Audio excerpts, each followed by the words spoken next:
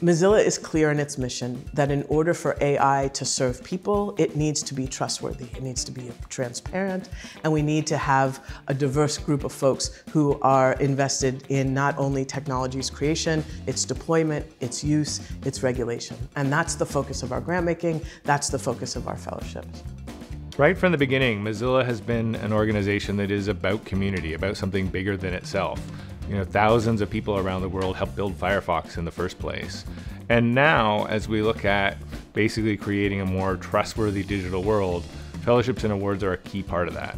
When you look at the different people who come into Mozilla, there's an acknowledgement that we're different. So we're working with artists, we're working with policymakers, we're working with builders, we're working with academics. It's extremely difficult to get funding for an art project that engages citizens on AI's impact and that can allow us to change things either through better AI design or through policy innovation. The Mozilla Foundation has been instrumental to the work that I'm doing. The movement building capacity has been expanded so much. The Mozilla Award has helped our project in bringing in more people to build the AI safety and fairness space.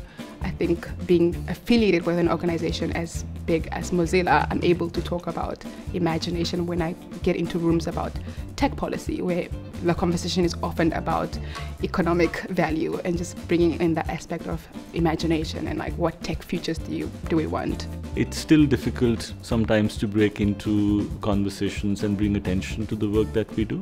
And in that sense, the support of an organization like Mozilla is uh, critical.